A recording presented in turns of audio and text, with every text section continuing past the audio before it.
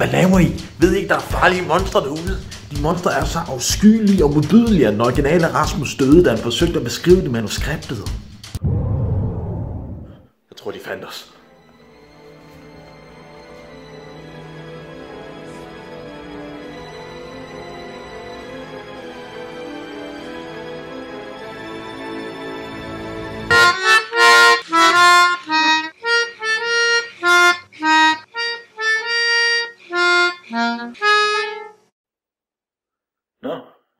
Det var lidt skuffende.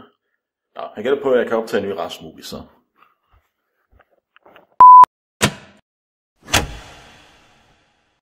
Brick er en krimifilm fra 2005, som handler om teenageren Brendan, som er spillet af Joseph Gordon-Levitt. Han prøver at opklare mordet på sin ekskæreste, og ender med at falde ned i et dybt kaninhul. Alt jeg havde hørt om filmen var egentlig det resume, jeg lige har fortalt jer, så jeg havde egentlig ikke forventet mere end bare sådan en typisk krimifilm. Men jeg blev så positivt overrasket, da jeg fandt ud af, at de faktisk har lavet en efterligning af klassiske noir-film. Filmen er fuld af noir-inspirerede karakterer. For eksempel privatdetektiven Brandon, Femme Fatalen og den shady skurkerens håndlanger. Og det er bare et par stykker. Jeg vil ikke sige, at den her film er en komedie, men den har stadigvæk noget humor til sig. Og den kommer i form af at sætte den her noir her i en high school. Alle locations på denne high school her bliver til et område, du vil kunne se i en noir-film. For eksempel så bliver biblioteket til et kontor for Brendan og hans assistent. Klassefesten bliver til et maskebal. Og barnet er virkelig bare hjemme hos mor med noget saftevand. Når det kommer til selve skuespillet, så synes jeg, det var okay. Der var der bare lidt det, at nogle gange synes jeg, at den her noir efterligning kom lidt i vejen for skuespillet. Der er til tider nogle ret tørre reaktioner i den her film her, og det kan sådan tage dig lidt ud af filmen, synes jeg. Jeg ved ikke med jer, men hvis jeg fandt et lige, så ville min reaktion nok ikke bare være,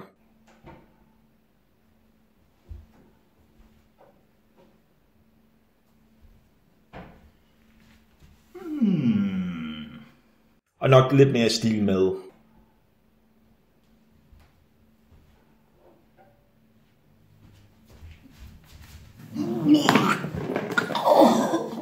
Men udover det dele, så synes jeg, at vi folk gjort ret godt arbejde i filmen. By the way, det her det er ikke noget med filmen at gøre, men jeg synes virkelig, at Brendan lignede John Lennon.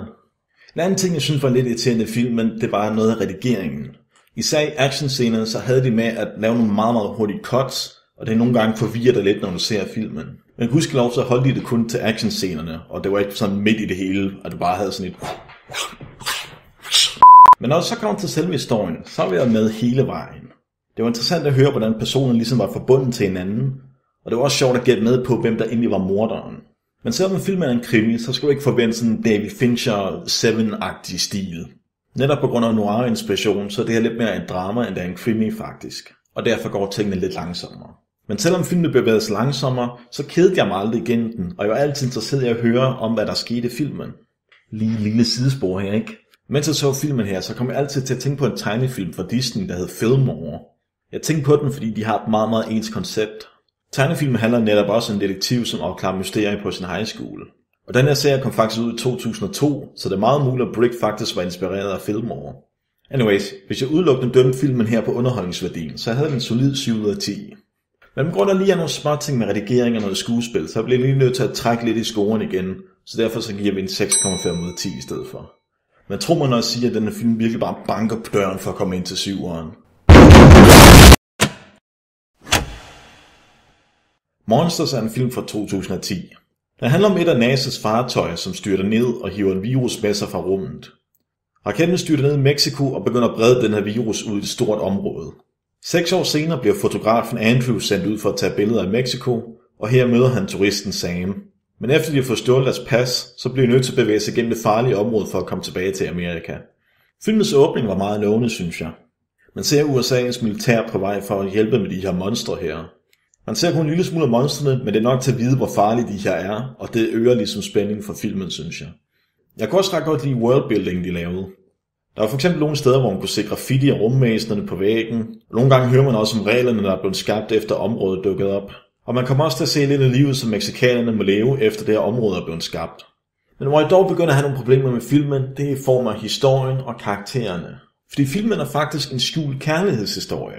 Og det vil normalt ikke have problem med, hvis det ikke var fordi, at den her kærlighedshistorie føles bare utroligt typisk. Det føles næsten som om filmen bare havde en checklist, der sad og sagde, mhm, mhm, vi skal også det der med, mhm, og boom, kærlighedshistorie. Og på grund af den her checkliste følelse her, så køber du ikke rigtigt, at det her er en rigtig kærlighedshistorie, og du tænker bare hele tiden, det der det er to skuespillere, og ikke rigtige personer, der er forelsket. Og når jeg så samtidig heller ikke var en stor fan af skuespillet, så står vi lidt med et problem, synes jeg. Opsætningen af historien føles også meget skæv for mig. Det tog 100 år at komme i gang med selve historien.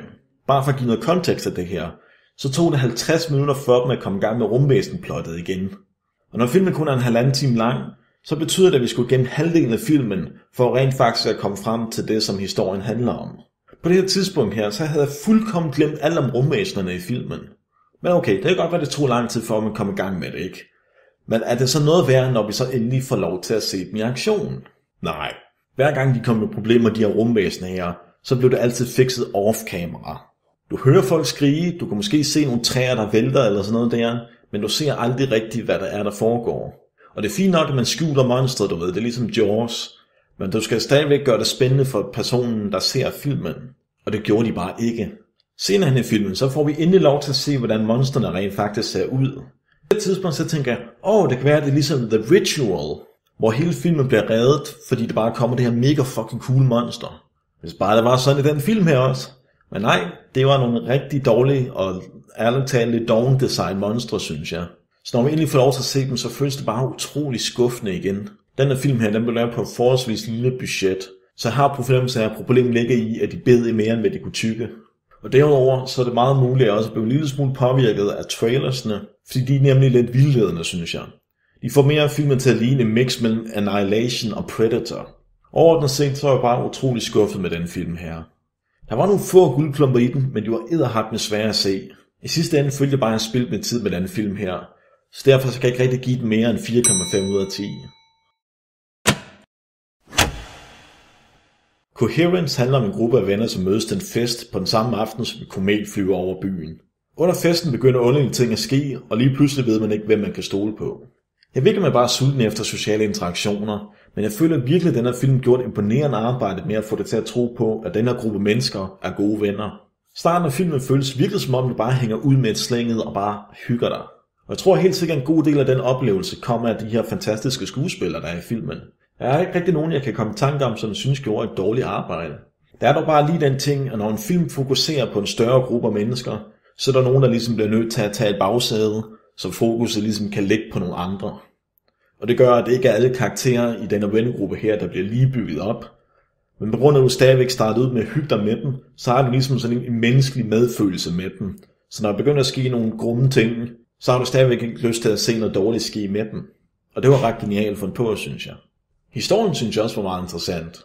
Når man ser filmen, kan man godt se, at de tager inspiration fra andre film, men jeg synes nu, det ændrer nok på koncepterne til at gøre det til deres helt eget. Jeg vil ikke snakke for meget om, hvad det her mysterie er for noget her, for jeg synes, det er sådan noget, man skal opleve selv. Men i sidste ende, så stod jeg med en ret unik science fiction film, synes jeg. Den her film prøver virkelig hårdt at klemme en 8 ud af 10 ud af mig. Men der er dog bare lige det med gruppeproblemet, som gør, at jeg ikke helt kan tage det sidste skridt derop. Men får så stadigvæk en rigtig, rigtig flot 7,5 ud af 10. Ja, det var så alt for nu, dværggrise. Håber I kunne lide videoen. Giv den en like og lige en lille klik på subscribe-knappen og lige lave et rigtig dum på klokken. Det vil være meget værdsat. Og så ses vi i næste video.